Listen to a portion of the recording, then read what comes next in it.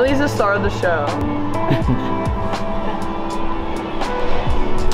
So we are here, uh, JG Graphics right now. We're like checking out their location. Look at that. That's dope. It's an automatic press. About like 100,000, 120,000.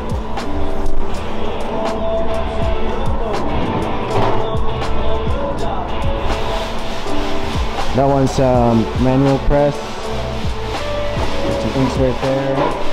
But yeah, I'm just here, you know, picking out some stuff, looking at what they do and how they do things, learning, pretty much.